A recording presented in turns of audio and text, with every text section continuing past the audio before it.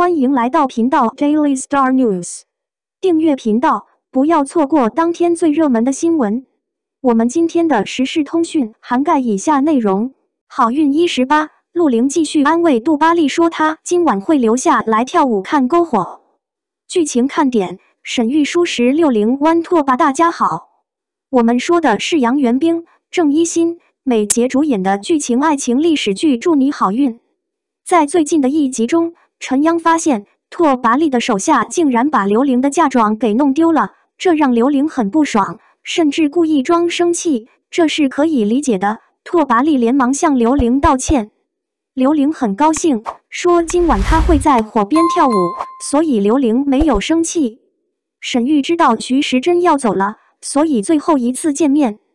其实从一开始，杜仲就知道谭武是来保护他的。谭武说服祖父让他留在家里当鬼魂保护他。谭武拉着杜仲的手说：“我希望我能为你留下。”徐师珍说：“他既然去了东宫，做了柳王的情妇，就没有回头路了。”就在这时，剧场里突然火了起来。沈玉抱着许世臣从上面跳了下来。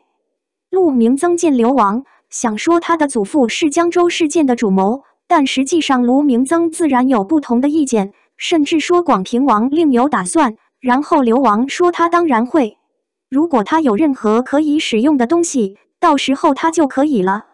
早上，一群不寻常的人类来到这里，凝视着柳玲。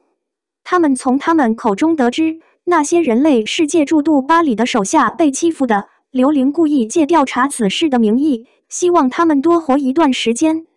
他对刘玲变成了最有效的追捕他的态度变得恼火。并表示，只要有机会，他就可以真正攻击魏。陈渊急忙将事情的经过告诉了哥哥，陈渊又将正的情况告诉了刘王。刘王表示，许氏亲父母的死还有其他的冤屈。后来，刘王指示庭审，奏章上写着许氏夫妇是借用鲁公陷害的。沈玉到走廊越过宝箱给刘王，刘王不认罪。点。沈玉接着说，证据变成了宝盒里面。他一边打开盒子，一边观察一本书。沈玉和许世锦研究了半天，找到了那个游戏的名字，就是云逸的，把游戏的名字写在了书里。现在普通人都没有注意到，变成了隐瞒的魏廷大臣。毕业，沈玉带着那些大臣去查，他们公认不会。然而，直到今天，陆聪依然不肯认罪，而且是故意的。当局却不肯公认，宣布沈玉蓄意陷害陆家。